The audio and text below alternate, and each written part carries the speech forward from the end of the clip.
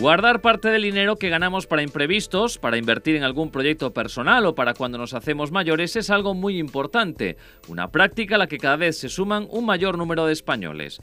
De hecho, en la actualidad 8,2 millones de nosotros ahorra a través de seguros y 7,5 lo hacen a través de la apertura de un plan de pensiones.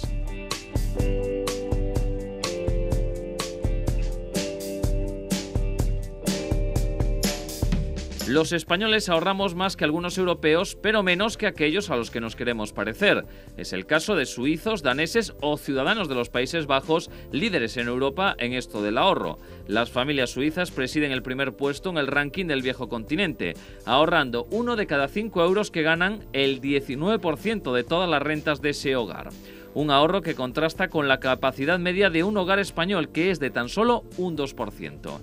Para emular a los suizos, cada persona ocupada en España debería reservar 6.400 euros al año sobre lo que ya está ahorrando actualmente.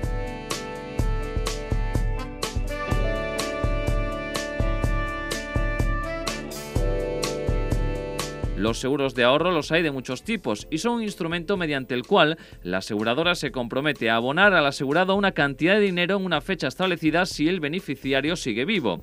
Además de un instrumento de ahorro, es un seguro con cobertura en caso de fallecimiento.